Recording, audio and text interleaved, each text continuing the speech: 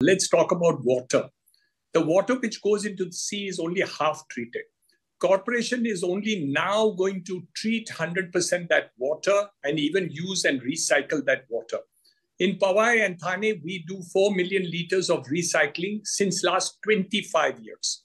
Now the question is, why did the city not do it earlier?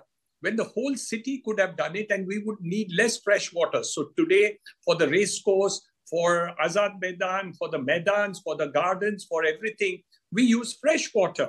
In fact, the recycled water would have been much better.